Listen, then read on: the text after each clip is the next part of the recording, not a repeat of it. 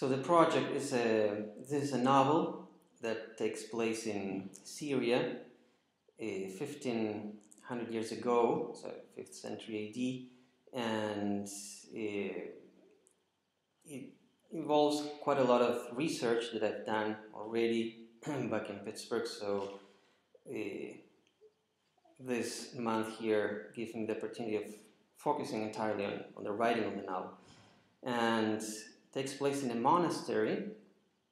So I have this elusive life of the monks living in this monastery to, to sort of depict and uh, uh, dive into.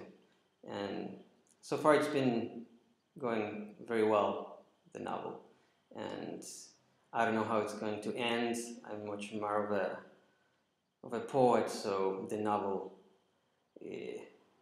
keeps being sort of eh, elusive to me too.